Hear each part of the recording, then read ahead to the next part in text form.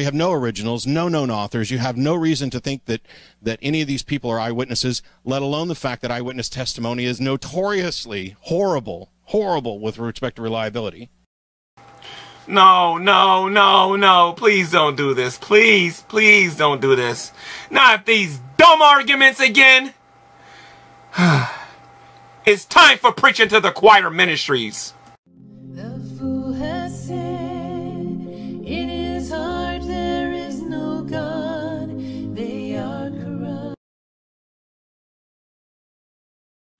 Because the story is extraordinary enough that it needs more evidence. And yet, there are entire religious organizations that have built their beliefs on less compelling evidence.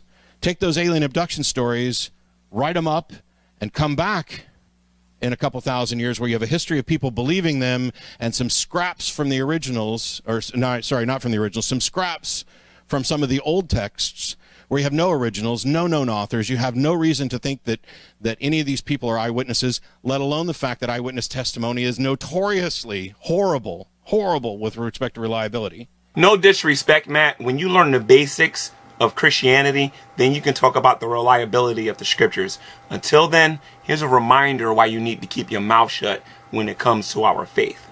You've misrepresented no. the issue of denominational differences. The denominational differences are in adiaphora. Do you know what adiaphora is? No. Okay. You know what a hypostatic union is? No.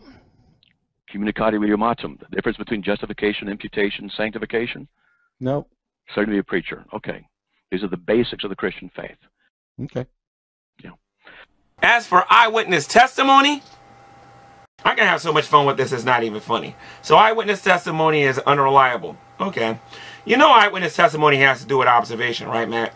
Someone is testifying to seeing an event happen and is sharing what they have seen with you.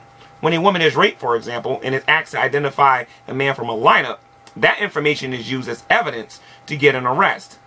All right? Scientists see things in the lab all the time that I will never see because I cannot afford the equipment. But I'm expected to take their word that what they observed is supposed to be true. All right?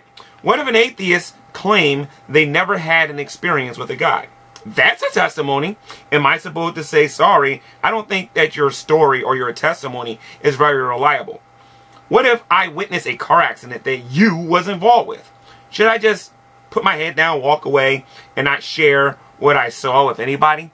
Do you even know what a testimony is, Matt Dillahunty? Uh, do you know how many times mob bosses had people killed who witnessed one of their men trying to put out put a hit out on somebody? If eyewitness testimony wasn't so important, then why would they do that? Why would courts subpoena people or, or lawyers subpoena people to, to, to give their testimony in court because their testimony could, lock, could put somebody away? You're being intellectually dishonest and it's disgusting. And there are a whole bunch of other examples I can use with your evolutionary biogenesis and all those things that have to do with what a person observed in the laboratory. But I don't got time to do that. But I do want to leave that thought with you guys. He is saying that eyewitness testimony is unreliable. Scientists see things all the time that I will never see.